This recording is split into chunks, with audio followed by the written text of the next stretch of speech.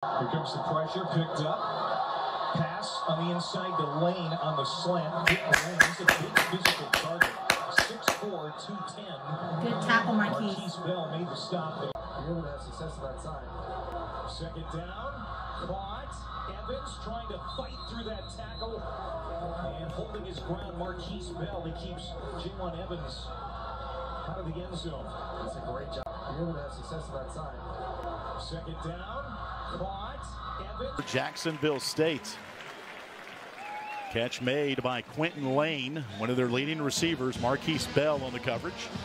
First down at the 25. Snap back to Fry. Throws out of the backfield to the one yard line. Good play by Marquis Bell.